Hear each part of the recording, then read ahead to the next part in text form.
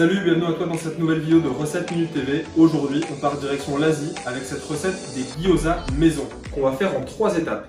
Première étape, on va réaliser la pâte, donc avec de la farine et de l'eau. Ensuite, on va passer à la confection de la farce. Vous aurez besoin de viande, donc de volaille, des champignons, des carottes, des oignons, un petit peu de sauce soja et du jus de citron avec un peu de gingembre également. Et la dernière étape, la confection des gyoza et la cuisson. Allez, reste dans cette vidéo et je te donne toutes les astuces pour faire des gyoza comme au Japon. Et bah c'est parti Première étape, la réalisation de la pâte à gyoza. C'est ce qu'on appelle mettre les mains à la pâte. Et là, on va pétrir jusqu'à former une belle boule bien lisse.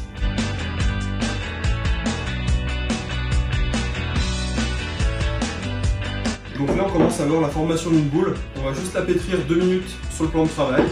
Notre pâte est pas trop mal, donc on va former une boule. On va la laisser euh, de côté.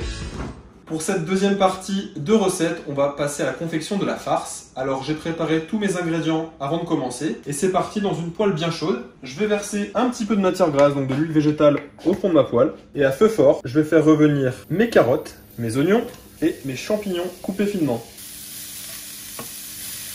Je vais faire suer mes légumes et je vais en profiter pour ajouter une cuillère à soupe de gingembre coupé très finement.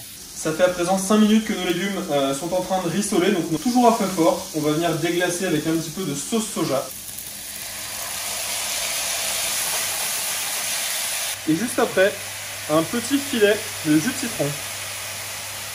Et deux minutes après avoir déglacé, on peut couper le feu à feu éteint. On va pouvoir ajouter la volaille. Donc on va incorporer la volaille au mélange sans pour autant la cuire pour justement pas qu'elle soit trop sèche au moment où on farcit les, les ravioles.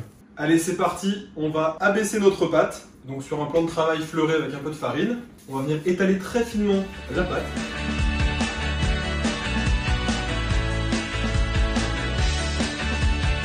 Faut vraiment pas hésiter à aller chercher une pâte très fine.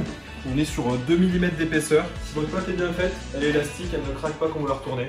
Maintenant, à vous de vous procurer soit un emporte-pièce, soit un verre, une tasse. Moi, j'ai récupéré un couvercle sur une boîte hermétique. Donc, je vais détailler des disques d'un diamètre de 8 à 10 cm. Comme ceci. Allez, c'est parti, troisième étape, la confection de nos gyoza. Alors, on va prendre un disque de pâte et on va venir mettre une cuillère de farce au centre, comme ceci, légèrement plus. Voilà.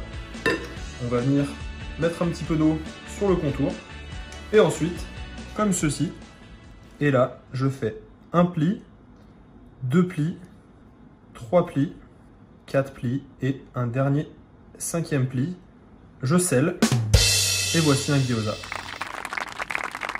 Et je recommence l'opération autant de fois que j'ai de disques de pâte.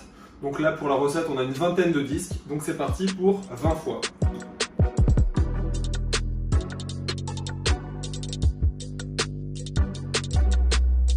Et la dernière, allez c'est parti, on va sur le feu pour les cuire. Pour la cuisson, très simple, donc dans la même poêle, une poêle chaude, on va verser un petit peu d'huile végétale, donc de l'huile de tournesol. L'huile est bien chaude, c'est parti, on peut ajouter les gyoza un par un.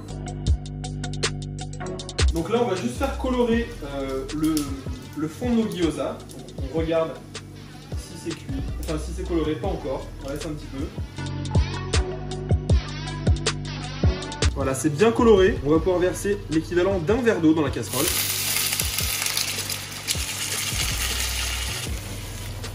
On baisse le feu et on va laisser cuire à couvert 5 minutes. Voilà, donc là c'est cuit. Tout l'eau a été absorbé. Et si on regarde, j'en prends un au hasard. Donc il est bien coloré sur cette face et il est cuit sur l'intégralité. Donc le but c'est vraiment d'avoir quelque chose de croustillant mais à la fois euh, moelleux, fondant. Donc là j'arrête et on va pouvoir passer à la dégustation.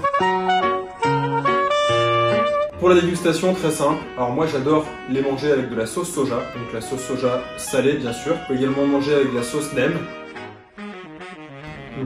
C'est divin, on a cette saveur euh, d'Asie avec un dessous qui est croustillant et le dessus qui est vraiment fondant en bouche. J'espère que cette vidéo vous aura plu. N'hésitez pas à lâcher un commentaire et un pouce bleu pour me soutenir. Et puis surtout, faites cette recette, prenez soin de vous et bon confinement. À la semaine prochaine.